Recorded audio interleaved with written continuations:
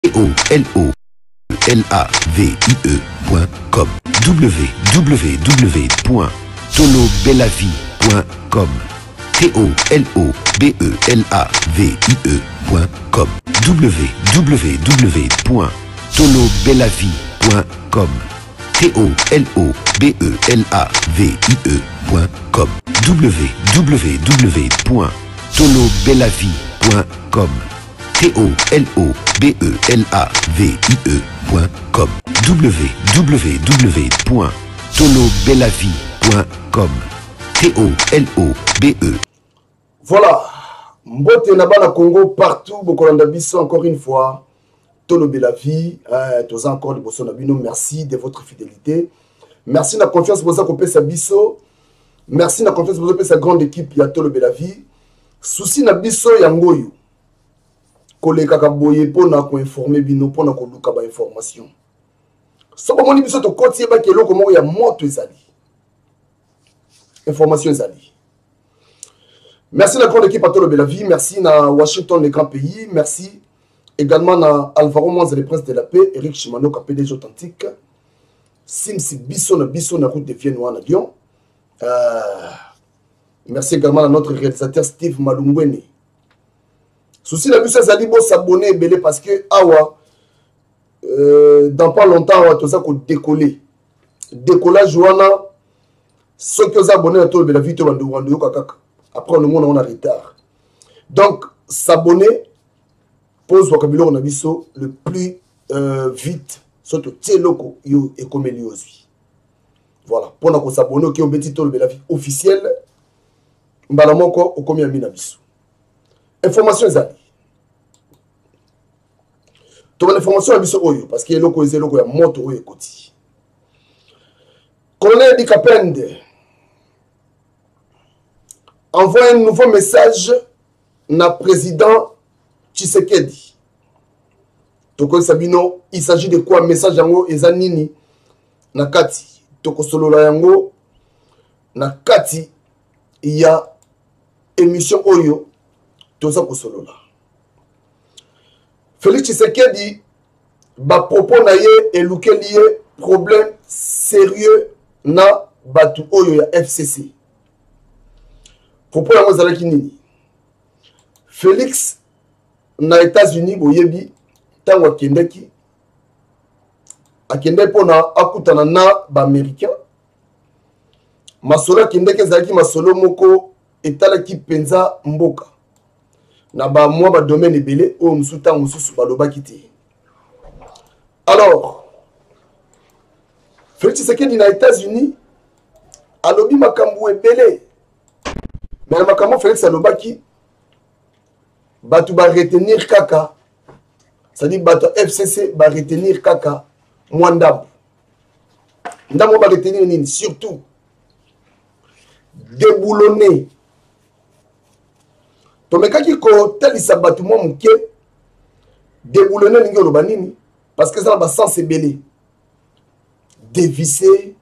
déloger hein?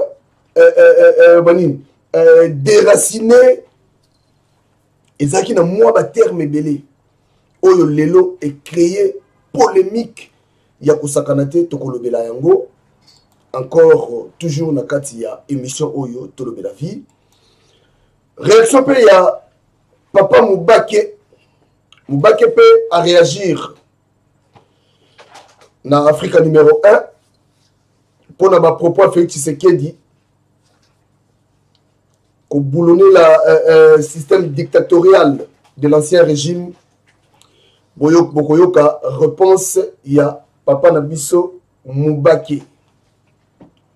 alors encore une fois bienvenue na tolobela vie tokopropose bino bokomona bino moko réponse ya Félix Tshisekedi par rapport ya maloba oyo ye moko alobaki ameki koexplike yango epai ya peuple parce que bato batunaki ye donc reste connecté na tolobela vie tokomeka kopropose bino mwa intervention okoyoka pourquoi alobaki alobaki makambo wana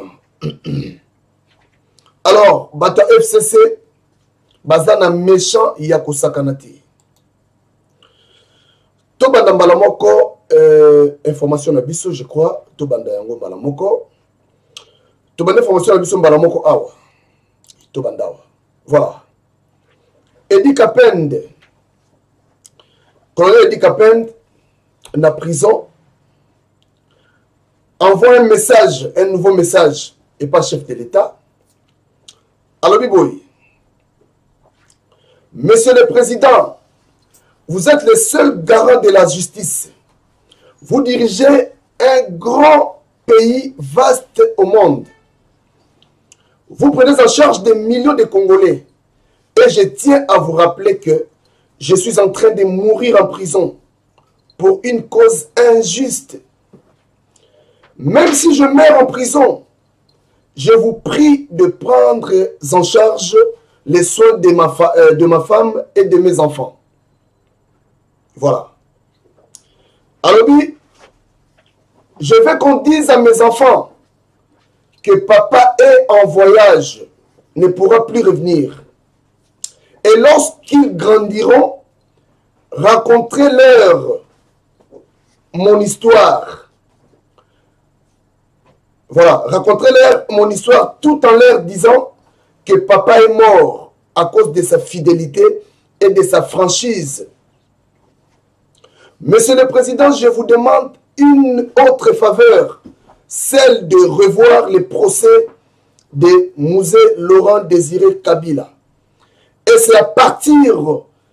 de ce moment que vous verrez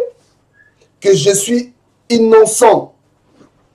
et que j'ai euh, et que ce sont les personnes privilégiées qui sont responsables et criminelles. Je vous souhaiterais que la réouverture de ces procès se fasse au stade, au profit de tous les Congolais, car cela permettra que le vrai coupable soit identifié. Wana, Eddie Kapend, colonel, colonel Eddie Kapend, boyoki message oyo Eddie Kapend atindeli Félix Tshisekedi, président de la République, alobi, Monsieur le Président,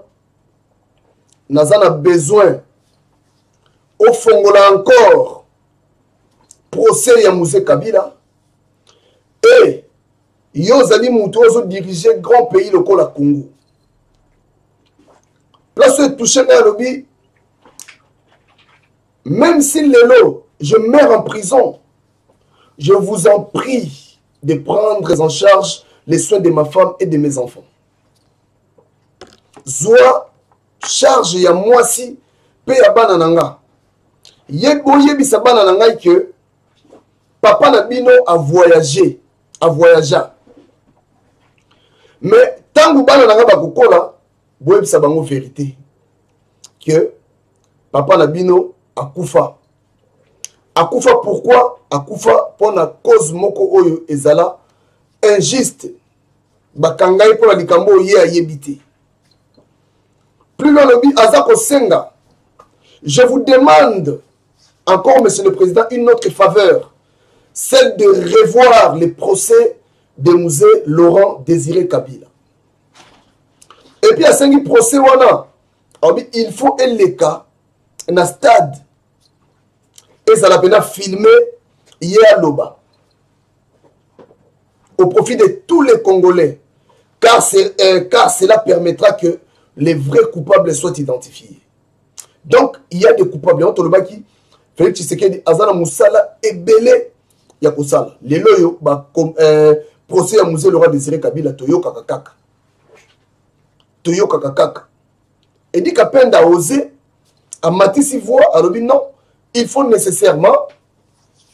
monsieur le président fongola page mpo ngai to bakoboma na bango nga me na nsima zwa ta meka kozwa soin ya bana na nga meka mpe kozwa lisusu soin ya mwasi na nga mpo na bana na nga message ya kaka moko yesa mo papa papa na mina voyage me ntango bana na nga bakokola meka kofongola bango verité ke papa na bino baboma ye mpo na likambo oyo ye ayebi te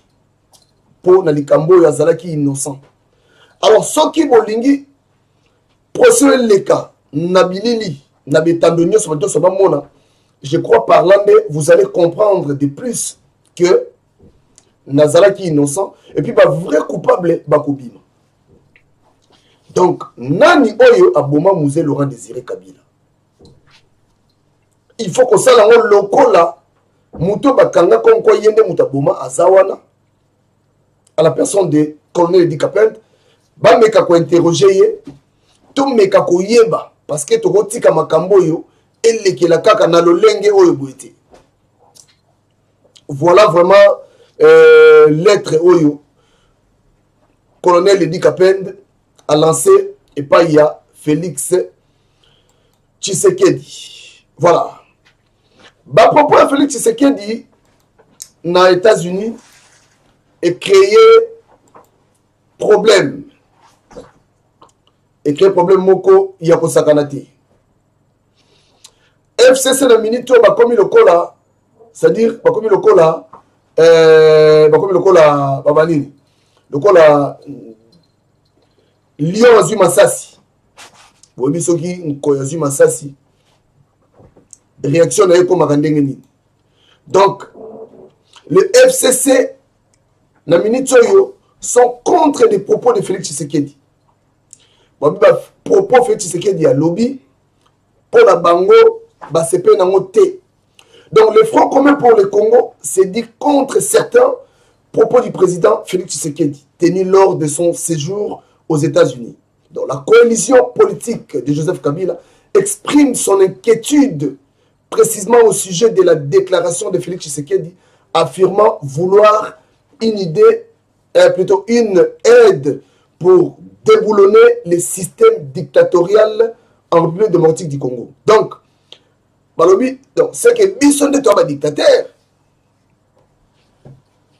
balobi esurprendre bango comment feti sika nakoyeba makambo oyo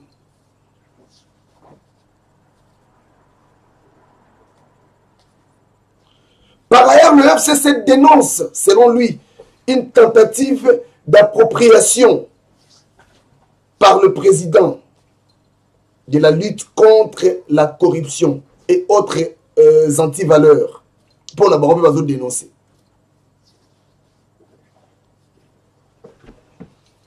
donc malgré bango batomboki malgré bango balobi je crois nayesi bino ke non nakotiela bino euh, tokomi kotiela bino mwa moke tokomeka kotiela bino ensemble bokomeka komona nanu makambo yango ndenge félix tshisekedi ye moko arépondre bato ya fcc tokomeka kotyela bino bino moko komona koma félix tshisekedi arépondre bato ya fcc parce que eza na video tokomeka kotyela bino nde tolobaki wana parce que choix eza te il faut nécessairement tobanda kosola boye avec des images prévalapui voilà tozokende malembe malembe donc bato bozomona lelo bazwi bazwi kipelekese ya kosakana te felix tshisekedi alobi alobaki parce que après yango bamekaki kointerviewe ye alobi Il pensait que moi, j'allais être un président complaisant et qui allait continuer le même méthode du passé. Et j'ai dit non. bango bakanisaki ke felix tshisekedi aza nde président moko kaka ndenge wana ndenge wana ndenge wana et que bango bakobanda kocontinue kosala même méthode du passé nalobi na bango non je vais m'attaquer à tous, à, à tous ceux qui avili les citoyens congolais et qui a contribué à affaiblir le développement de notre pays. Feu Tshisekedi. alobi akoatake bato oyo nyonso bakota mpona sadi mpona kodétruire notre beau pays qui est le congo nakotiela bino yango bokomeka kolanda comme ça vous allez comprendre que makambo toza koloba ewutaki pai ya ye moko félix tshisekedi mais avant totyela bino eloko ya félix tshisekedi je préfère tobeta no lisolo ya papa na biso euh, mubake bolimbisa mwa moke tobetela bino lisolo ya papa mubake voilà ok concernant bapropos ya félix tshisekedi na, euh, na états-unis alobi si Félix Tshisekedi voulait déboulonner ou dévisser même le régime de Kabila afin d'être publicité par tous qui commence par déboulonner la CENI dont les autorités sont sous les coups des sanctions et, et qu'il déboulonne les résultats des élections qu'il a négociées à Kingakati trois jours avant la publication des résultats.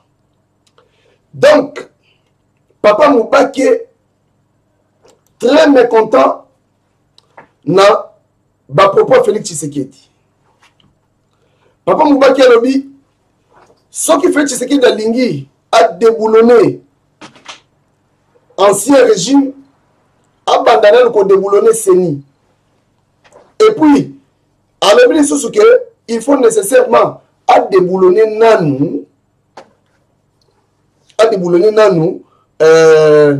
baresultat oyo ebimaki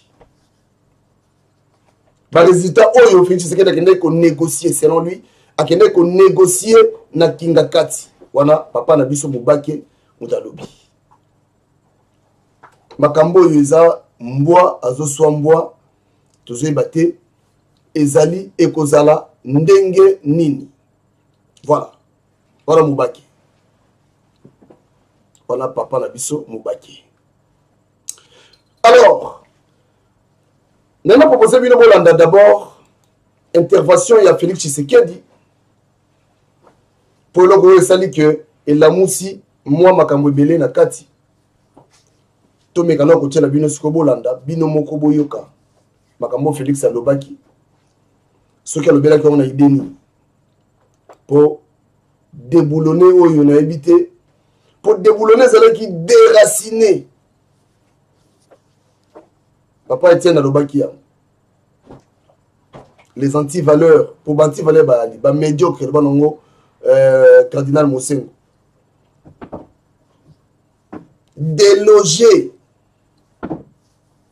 mettre de côté donc eza c'est-à-dire eza mpena ensemble ya makambo ebele debouloni totiela bino bolanda comme ça on se retrouve tout juste après mpo tomeka kosilisa intervention na biso donc euh, tosengi na réalisateur soki déjà aza prêt ameka ko voilà merci na notre réalisateur oui ndeko edi mituna na yo eza motuya nasepeli nango ya solo nalobaki ke nakodeboulone système dictatorial oyo tokombataki na pays mais nazokamwa système ezali moto te système Ezali ba methodes, ba methodes oyo ebomaki mboka na biso. Ba methodes wana ezali lokola corruption, ba methodes wana ezali lokola violence, ba arrestations arbitraires, ba violations ya ba droits de l'homme. Moto aza alobi euh, euh, opinion na ye Mpo esepelisi bakonzi te, bakangi ye, voir babomi ye. Moto asengi a, a, a, a, a, a informe que akosala marche marche mpe pacifique, amemi mandoki na maboko te, babeti ye masasi, akufi. Baka eza ebele na mboka na biso, nde biloko nalobaki système wana oyo ekota wuta AFDL Ti kino lelo enfin kino euh, na décembre 2018 système wana na ko deboulonner yango po bokonzi oyo ngai nangi nakotisa na congo ezali bokonzi ya koboma bana mboka te ezali bokonzi ya koyiba mboka te ezali bokonzi ya kotonga mboka ya kokotisa kimia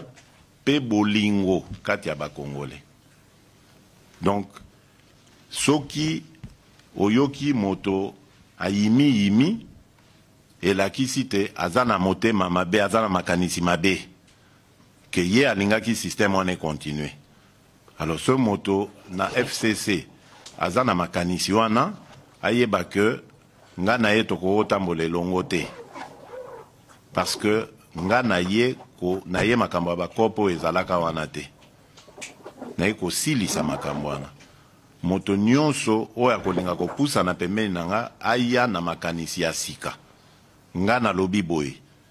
Na komi na pouvoir na ye ko kanga moto te na ye ko boma moto te na ye ko kata mondelo pour dire voilà maye manso ma salemaka liboso esengeli masila tolingi sikoyo to banda Etape ya sika oyo tokoloba que maye manso malekaki masila totala ndenge nini tokoki kotonga ensemble oyo akobebisa sikoyo na periode oyo tobandi ah, wana etali ye me baoyo oyo banso basalaki oyo basalaki non non biso tokokotisa etat de droit etat de droit na justice oyo ekozala wana nde ekose charge ya kotala individuellement ba problème ya moto na moto wana etali ngai susu te leta moto akosala mosala na ye eza likambo ya individu te voilà donc je disais euh, euh, que quand j'ai parlé de déboulonner la dictature et je répète en pesant mes mots je veux m'attaquer à tout ce qui a avili le citoyen congolais, la dignité du Congolais, et qui a contribué à affaiblir le développement de notre pays. Toutes ces antivaleurs de corruption, de violation des droits de l'homme, de brimade, toutes ces habitudes qui consistaient à traquer les opposants parce qu'ils avaient euh, émis un son contraire euh, par rapport aux autorités du pays. Certains ont même perdu la vie parce que, ayant participé à des manifestations pacifiques, sans avoir euh, d'armes euh, par devers eux, ont été abattus comme ça, au mépris de la loi et de, la, dignité humaine. C'est c'est à ça que je vais m'attaquer. C'est ça que je vais éradiquer. À partir de ce moment-là, tout citoyen congolais peut me fréquenter.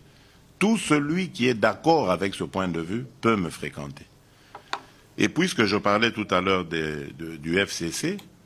si nous allons dans cette coalition avec le FCC, c'est autour de ces principes que je viens de vous édicter ici, de vous étayer ici. Ce n'est pas autour de ce qu'il faisait avant. On va se mettre ensemble, mais autour de la nouvelle vision, de la nouvelle approche qui est la mienne. Et pas question de replonger dans les travers du passé. C'est ça que je vais déboulonner. Je n'ai pas euh, de problème individuel avec qui que ce soit. J'ai proposé que l'on tire un trait sur le passé, notre passé, qui est fait de beaucoup de mauvaises choses, en nous disant, OK, dès maintenant, nous recommençons une nouvelle ère et nous espérons que dans cette ère, il n'y aura plus ces pratiques du passé. Si maintenant ce que j'ai dit a gêné des gens, ça veut dire que ces gens sont mal intentionnés. C'est qu'ils ne voulaient pas m'entendre dire des choses comme ça parce qu'ils pensaient que moi, j'allais être un président qui allait être complaisant et allait continuer les, les mêmes méthodes du passé. Je dis non, je n'accepterai pas ça. Je ne vais plus retomber dans ces travers-là. Donc c'est ce que j'entendais par déboulonner le système et cela n'empêche pas du tout une coalition avec le FCC parce que ce FCC sait, pour avoir échangé avec nous, quel est l'entendement que nous faisons de cette coalition. Ce sera une coalition au service de notre peuple et de notre pays. Ce ne sera pas une coalition prédatrice, liberticide et dangereuse pour notre développement si nous sommes d'accord ou ils sont d'accord avec cet entendement que, nous leur avons déjà fait, euh, euh, euh, que nous leur avons déjà transmis, eh bien, nous allons construire cette coalition en toute quiétude, sans avoir de, problème de conscience, parce que c'est comme si on, avait commis un crime d'avoir respecté la volonté de notre peuple. je vous rappelle que c'est le peuple congolais qui a voté et qui a, sorti ces résultats. Donc c'est au nom des résultats qui sont là que nous allons dans cette coalition. Sinon, c'était une cohabitation. On allait les laisser seuls au gouvernement. J'allais être seul à la présidence. Et bon, on allait avoir une dichotomie dans, euh, la, gestion de la chose publique. Ça aurait été dangereux pour la République. D'autant plus que cet équilibre est fragile, je le disais. Euh, euh, euh, en réponse à la question de Madame, la première, euh, qui, parlait de, cette... non, de, de, monsieur plutôt, qui parlait de deal avec Kabila. Je disais, après les élections, après l'alternance, l'équilibre reste fragile. Il faut faire attention que nous ne retombions pas dans les choses. Les gens pensent que ce qui est arrivé est tellement euh, inouï, impossible, euh, c'est pas, pas normal. Il, a dû y avoir quelque chose, arrangement. Donc c'est fragile. On, a, encore euh, de la crédibilité à gagner, j'ai certain. Et surtout, nous avons à consolider ce, bois, Donc faisons-le ensemble. Nous ne sommes pas des ennemis, nous avons été des adversaires dans un passé récent. Mais aujourd'hui, nous sommes d'accord pour avoir la même vision. Et donc nous allons gouverner ensemble et je ne suis euh, du tout pas gêné de, de le dire. Alors, tokosala ndenge nini me nabanzi na makambo nayobi na français napesi deja miyano euh, biyano plutot na, na, na motuna na yo tokosala ndenge nini me tokoyokana na ndenge tokokamba mboka tokotia mibeko toyokani voilà Mibeko yango oyo topesi totie esengeli moto nyonso atosa mibeko oyo ezali awa. Oyo akobuka mibeko matali ye mpo toza kokotisa justice oyo ezali independante Ba instruments nyonso ya controle ya gestion ya mboka ekosala mosala na yango. Oyo akobuka mibeko wana matali ye, protection ekozala te, impunite ekozala te. Ozala soda, ozala civil, ozala mokolo, ozala mwana, ozala euh, tata to mama, matali yo okozala na, na obligation ya kokende ko na justice rendre compte Donc voilà ce que j'avais à dire. Donc euh, comment le faire Je crois que je l'ai dit en français, donc ça ne sert à rien d'y revenir. Merci. Merci. Euh, chers amis de la presse, nous vous remercions. on a fait un qu'il faut. Voilà. Je crois, Boyoki, donc, Bana Congo, normalement, Bazan a besoin, toi, a besoin, il y a ancien régime wana bazala lisusu te donc na besoin vraiment mwa bamopepa sika ezala bato barespire nanu congolais respire comme ça makambo na biso moko totala makambo na biso makambo na biso bato mosusu balobela mpona mpo na biso te tolingi na biso te to na besoin makambo na biso tosola yango entre nous parce que makambo na biso etali bato te mikolo eleki tobeta lisolo premier ministre awa tolobaki joseph kabila atindaki deja nkombo epuis nkombo azali bya dévoile ya albert yuma so gouvernement ezobima te ti lelo félix sekedi aboyaki nkombo wana alingi ne nkombo wana te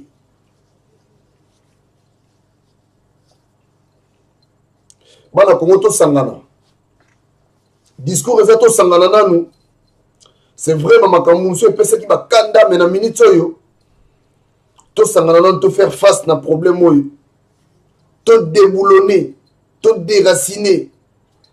les antivaleurs yango kande mosengo alobaki ti il est temps que le médiocre dégage il est temps tozela nini il est temps bakolekela biso na mboka na biso te tosangana no entre biso toluka nao solution mabe na biso tokobongisa yango nsima parce que bato oyo baolinga ntango mosusu basangana na biso bato oyo ntango mosusu na bato oyo ntango mosusu baza contre masolo oyo non bato baa contre wana ce sont des congolais bosangana na bango mpona nini mpo bango baa bacongolais bino eske bino boza bacongolais so oza vrai congolais ndima changement ndima na mopepa sika esala merci na bandeko nde bolandi ngai susi na biso eza ke il est temps oyo bamediocre fo bakende batika na mboka na biso to totonga na mpe mboka na biso nanu hmm? tozwa ntango tonga mboka na biso kan biso soki tokufa lisusu bana biso bakokaka totikela bango héritage totikela bango ezali merci na bino nyonso bolandi biso na tolobela vie souci na biso majeur yango oyo reste connecté na tolobela vie merci lavie.com www.tolobelavie.com T-O-L-O-B-E-L-A-V-I-E.com www.tolobelavie